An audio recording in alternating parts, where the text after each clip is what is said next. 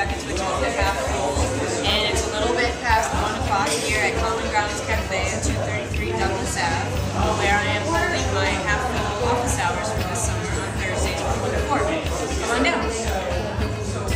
Hi, my name is Janice Lolo. I'm the director of Mary House, which is a ministry to the materially poor at St. Patrick's Church in Providence. And today I'm sitting here with a, an old friend. Actually, I knew her father now that I knew her.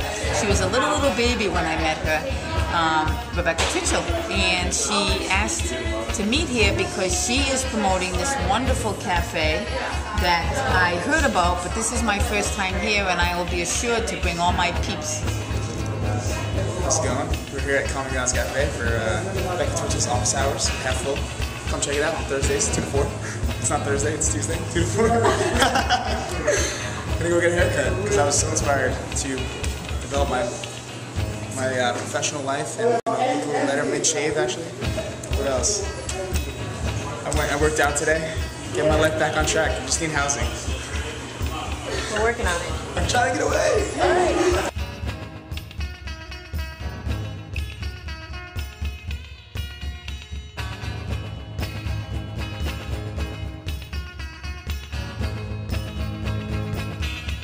Hi, my name is Mary Alice O'Connor, and I currently work for Rhode Island Campus Compact.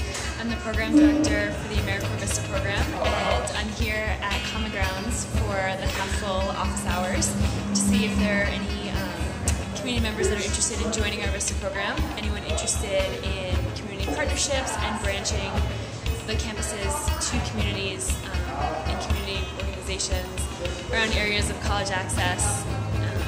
So we're recruiting for July and August. If you're interested, definitely send me an email. Um, I am also a Feinstein alum and looking forward to the upcoming 20th anniversary weekend this fall and looking maybe to partner with Becky and Half Full uh, for an upcoming Women's Forward.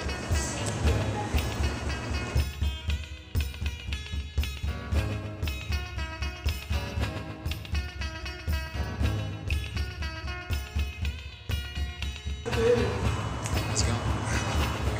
Uh, great haircuts on Douglas Avenue, next to the Common Grounds Cafe. Get a bagel and then go get your haircut. Life is good. Hi, Michaela here again, and we will are having our smoothie event this Saturday from 10 to 3, 233 Douglas Ave, Common Grounds Cafe. Come try your favorite flavors, vote on them, get entered for a raffle for a gift card, and we hope to see you there. Thanks.